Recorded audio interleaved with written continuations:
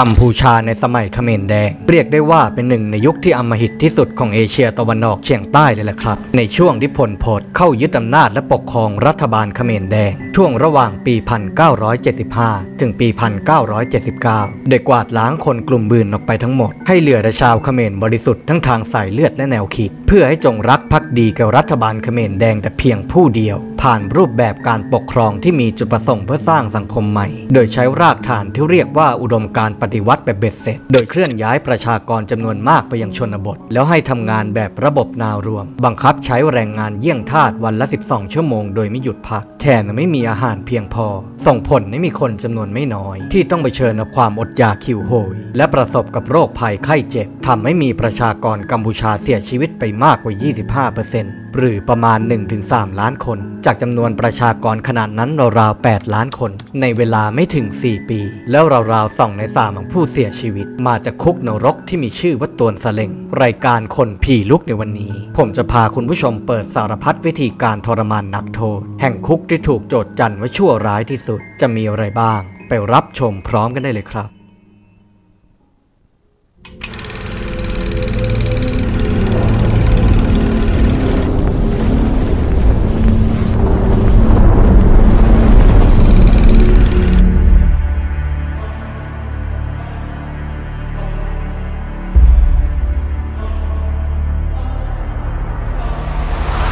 เกินก่อนนะครับว่าคลิปนี้ ตัวผมเองไม่ได้มีเจตนาหยิบยกเรื่องของความโหดร้ายในอดีตขึ้นมาพูดให้กระทบกระเทือนจิตใจใคร เพียงแค่ต้องการตีแผ่ให้เห็นความจริงว่าในครั้งหนึ่ง มนุษย์ได้กระทำต่อเพื่อนมนุษย์ด้วยกันอย่างโหดร้ายป่าเถื่อนแค่ไหน ผ่านเหตุการณ์ที่เคยเกิดขึ้นจริงในประวัติศาสตร์ เพื่อย้ำเตือนว่าการทรมานหรือสงครามในอดีตมันเต็มไปด้วยความโหดร้ายเพียงใด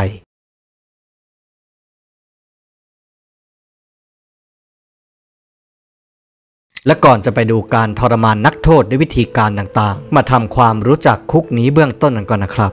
ต่วนสเลง เป็นชื่อของทันทสถานสมัยที่เขมรแดงเรืองอำนาจ โดยมีชื่ออีกอย่างว่า Security Office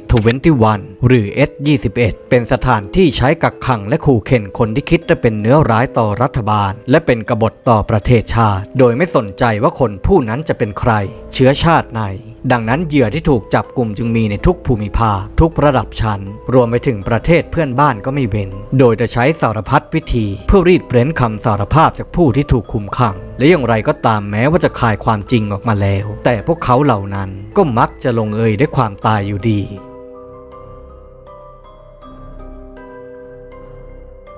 จริงๆ แล้วก่อนที่ตวนสเลงจะกลายเป็นที่ที่เจิงนองไปเลือดช่วงปี พศ 2505 มันเคยเป็นโรงเรียนประถมมาก่อน บนพื้นที่ขนาดเล็กๆ เพียงแค่ 600-400 เมตรเท่านั้น แต่ความอบอุ่นจากรั้วโรงเรียน ได้ถูกปรับเสริมเติมแต่งให้กลายเป็นคุกที่รายล้อมไปด้วยลวดหนาม พื่อใช้ในการสอบสวนผู้ต้องขัง และในเวลาเดียวกันความแน่นหนาของมัน ก็ป้องกันไม่ให้นักโทษหลบหนีออกไปได้ด้วยเช่นกัน และที่ต้องเข้มงวดขนาดนี้ ก็เพราะมีนักโทษมากกว่า 1,500 คน ซึ่งรวมถึงเด็กๆอีกราวๆ2,000กว่าคน โดยอาคาร A ใช้กักขังนักโทษระดับสูง ที่ถูกกล่าวหาว่าเป็นคนทรยศ ส่วนอาคาร B C และ D ซึ่งเป็นห้องขังขนาดเล็ก จะใช้สำหรับขังเดี่ยวนักโทษ แต่ชั้น 2 มีห้องที่ใหญ่กว่า ซึ่งกักขังนักโทษได้มากถึง 50-60 คนเลยทีเดียว แต่ไม่ว่าจะเล็กหรือใหญ่ กว้างหรือแคบ ทั้งหมดทั้งมวลนี้ก็มีไว้เพื่อทรมานนักโทษเช่นเดียวกัน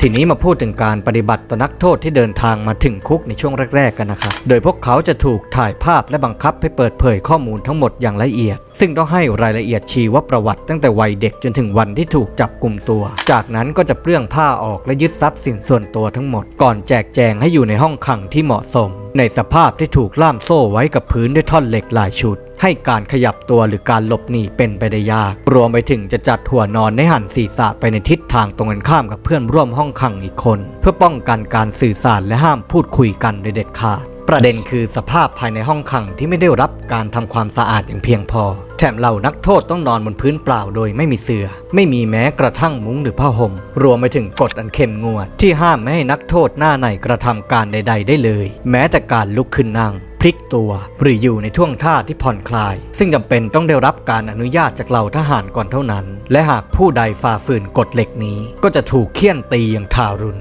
ส่งผลในทั้งสภาพเรือนจำที่แออัดและสกปรก ก็ทำให้สุขอนามัยของเหล่านักโทษย่ำแย่ และเต็มไปด้วยบาดแผลจากการถูกลงโทษ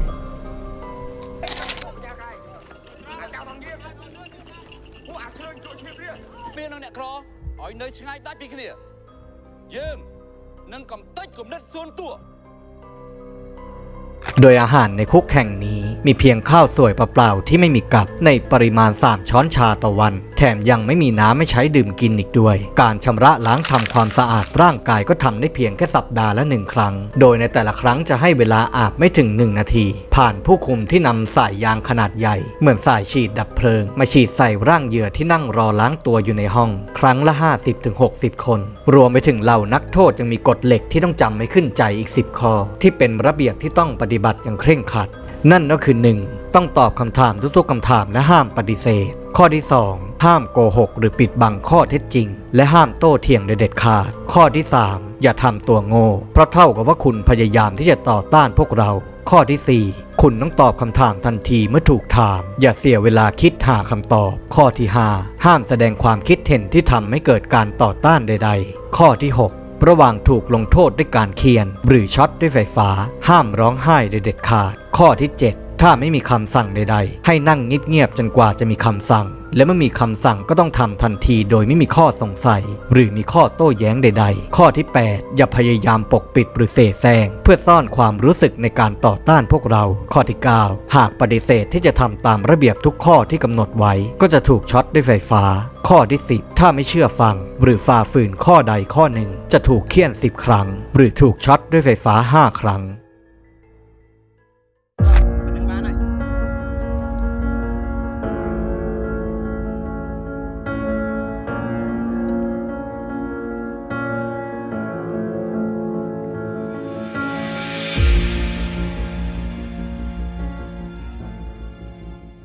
กฎเหล่านี้ที่ผมได้พูดมาทั้งหมด มันก็เป็นการทารุณกรรมเหล่านักโทษทุกทางอยู่ดี มันเหมือนกับว่าพวกเขาตั้งกฎเหล่านี้มาเพื่อกั่นแกล้ง และหากเพื่อนๆจินตนาการไม่ออกว่าที่นี่มันโหดร้ายแค่ไหน ผมจะยกตัวอย่างขึ้นมาให้ฟังหนึ่งเคส เหล่านักโทษที่มีเพศสภาพเป็นหญิงมีคันหรือเด็กที่ไร้ประโยชน์ในการทำงาน ก็จะถูกมองว่าเป็นพวกอ่อนแอและเป็นภาระ ดังนั้นการมอบความตายแก่พวกเขาจึงเป็นทางออกที่ดีที่สุด หญิงตั้งครรภ์และเด็กไร้เดียงสาจะถูกฆ่าตายอย่างไร้ความปราณี มีการนำเด็กทารกไปฟาดกับต้นไม้ ก่อนโยนลงในหลุมเดียวกับแม่จนกลายเป็นเรื่องปกติ แต่นี่เป็นเพียงแค่ส่วนหนึ่งของความโหดเหี้ยมนะครับ ยังมีสารพัดวิธีป่าเถื่อน ที่เหนือจินตนาการของเราจะยังถึงเลยทีเดียว และต่อไปนี้จะเป็นในส่วนของรูปแบบการทรมานนักโทษนะครับ ผมเอาข้อมูลมาจากหนังสือ 9 วิธีทรมานนักโทษนรกบนดินเขมรแดง ของสำนักพิมพ์ยิปซีนะครับ อันนี้เขาเขียนสรุปย่อๆไว้ในเพจ ผมเห็นว่ามันสั้นกระชับได้ใจความ ก็เลยเอามาเป็นส่วนหนึ่งของคลิปนี้ ใครสนใจหาอ่านฉบับตัวเต็มก็สามารถไปหาซื้อได้ที่เพจ Facebook ของทางสำนักพิมพ์ได้เลยนะครับ เริ่มกันด้วยเคสแรกประหารหลอกเพื่อข่มขวัญ มีนักวิชาการชาวฝรั่งเศสผู้หนึ่งที่ถูกจองจำในคุกตวนสเลงโดยเขมรแดง ได้ออกมาเล่าประสบการณ์ส่วนตัวไว้ว่า พวกทหารนำตัวเขาไปยังลานประหาร แล้วผันผ้าปิดตารอเวลาให้เพชฌฆาตลงมือ แต่เมื่อได้รับคำสั่งให้ยิง สิ่งที่เขาได้ยินนั้นกลับเป็นเพียงเสียงไกลปืนที่ไม่มีกระสุน พร้อมเสียงหัวเราะอย่างครื้นเครงจากนั้นพวกทหารก็จะนำตัวเขากลับไปที่ห้องขังตามเดิม นี่เป็นหลักฐานนะพวกเขมรแดงไม่เพียงแต่ทรมานร่างกายของนักโทษเท่านั้น แต่ยังมีการปั่นประสาทให้นักโทษขวัญเสียอยู่ตลอดเวลาได้เช่นกัน ลองคิดดูนะครับ ว่าหากเป็นเราถูกจับปิดตาและพาตัวไปยังลานประหาร พร้อมกับเพชฌฆาตที่แบกปืน AK เดินตามไปด้วย เชื่อว่าหลายคนคงรู้ถึงพิษส่งของกระสุนขนาด 7.62 ซึ่งมีแรงประทะที่รุนแรงมากในระยะไกล เมื่อรู้ดังนั้นแล้ว เราจะทำใจได้ยังไง หากถูกมันเอามาจ่ออยู่ที่หลังหัว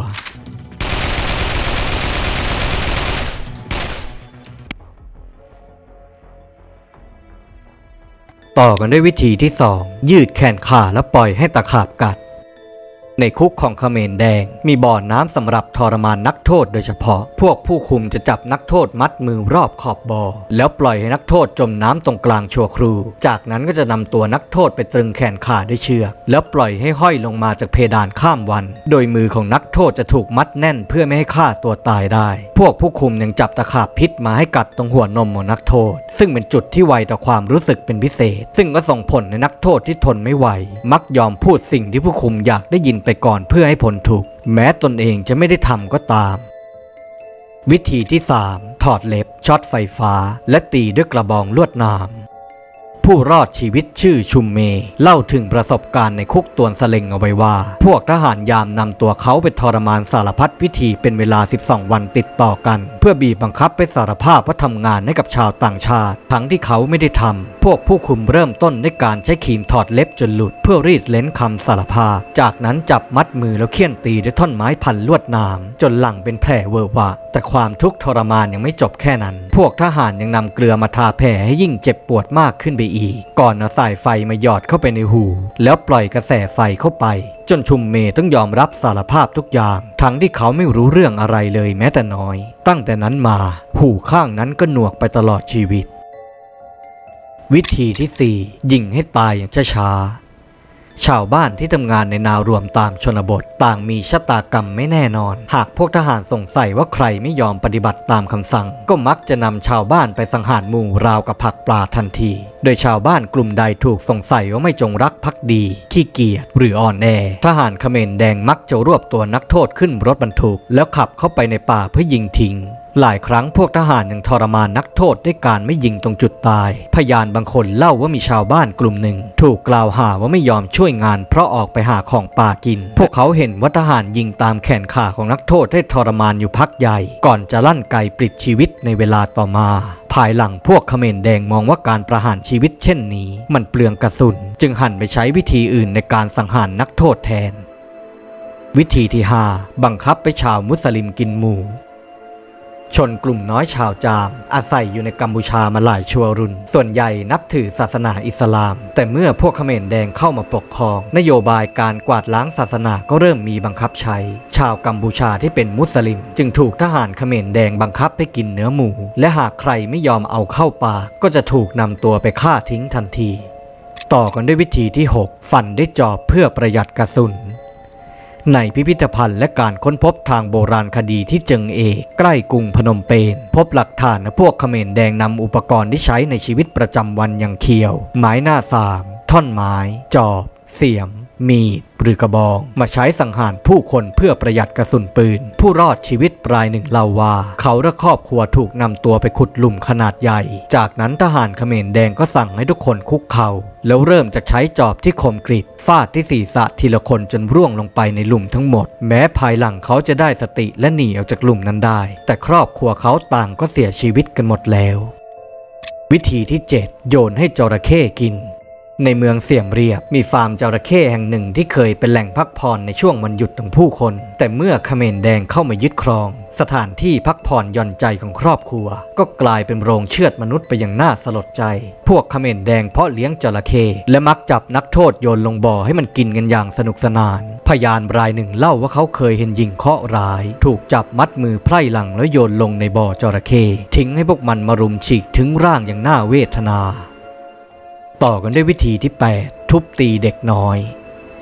พยานหลายรายได้เล่าและบรรยายตรงกันว่า เด็กทารกที่ทำให้ทหารรู้สึกลำคาญ จะถูกจับไปฟาดกับต้นไม้หรือก้อนหินจนตาย เด็กอีกหลายคนถูกโยนลงในหลุมและฝังทั้งเป็นพร้อมกับคนอื่นๆ บ้างก็รายงานว่าเด็กถูกโยนและเสียบด้วยดาบปลายปืน เด็กที่โตขึ้นมาหน่อย ก็อาจจะถูกจับตัดหัวด้วยเครื่องประหาร หากพวกเขมรแดงจับได้ว่าพยายามหลบหนี วิธีที่9ฝั่งทั้งเป็น ทหารเขมรแดงมีวิธีฆ่าเหยื่อให้ตายอย่างช้าๆ และไม่เปลืองกระสุนอยู่อีกวิธีหนึ่ง นั่นก็คือการฝังหมู่ทั้งเป็น โดยทหารจะนำเหยื่อที่ถูกกล่าวหามารวมกลุ่มกัน จากนั้นก็สั่งให้ตัวของพวกเขาเอง ขุดหลุมลึกแล้วกระโดดลงไปนอนกองกันก้นหลุม จากนั้นทหารก็จะกลบฝั่งชาวบ้านทั้งเป็น ท่ามกลางเสียงกรีดร้องด้วยความหวาดกลัว อีกวิธีหนึ่งที่ทหารเขมรแดงชอบใช้ คือการขุดหลุมลึกให้ถึงคอเหยื่อ และฝังตัวนักโทษลงไปให้โผล่มาแค่หัว เพื่อปล่อยให้พวกเขาตายอย่างช้าๆท่ามกลางอากาศร้อนละอุ โดยเหยื่อจะต้องทนทุกข์อยู่หลายวัน จนกระทั่งขาดน้ำหรือขาดอาหารตายในที่สุด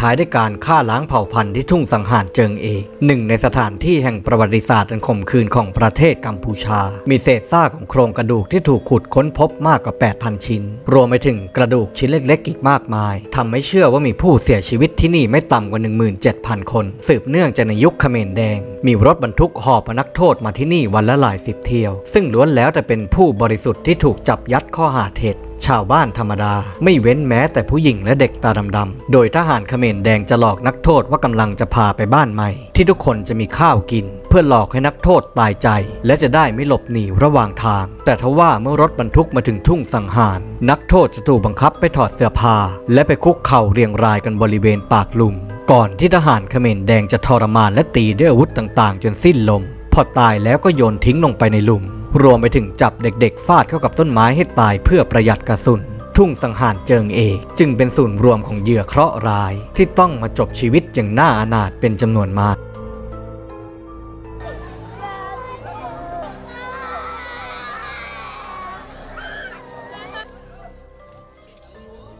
เมษาในจงแค่เมษามาตอนผมบนรอยจับกระรรดิ ก็จบกันไปแล้วนะครับ กับความโหดร้ายในยุคของเขมรแดง คุกตวนสเลงหรือทุ่งสังหาร ได้สร้างความสะเทือนขวัญให้กับคนทั่วทั้งโลกในช่วงเวลานั้น อย่างไรก็ตามมรดกตกทอดแห่งความหดหู่ใจนี้ ได้กลายเป็นเครื่องย้ำเตือนใจเราทุกคน ว่าการทรมานเพื่อนมนุษย์ด้วยกัน หรือการทำสงคราม รวมไปถึงการฆ่าล้างเผ่าพันธุ์ มันไม่ควรเกิดขึ้นซ้ำอีก ไม่ว่าจะอยู่ณที่แห่งใดบนโลกใบนี้ สำหรับใครที่อยากรู้เรื่องราวของเขมรแดงให้ลึกซึ้งยิ่งขึ้น ตอนนี้ก็มีหนังเรื่องเมื่อพ่อของฉันถูกฆ่าฉายอยู่บน Netflix นะครับ เป็นภาพยนตร์ที่สร้างจากหนังสือในชื่อเดียวกัน ที่เล่าถึงความทรงจำสุดหดหู่ของผู้รอดชีวิต ที่พลัดพรากจากครอบครัว ขณะมีอายุได้เพียงแค่ 5 ขวบ ช่วงยุคเขมรแดงเรืองอำนาจในปี 1975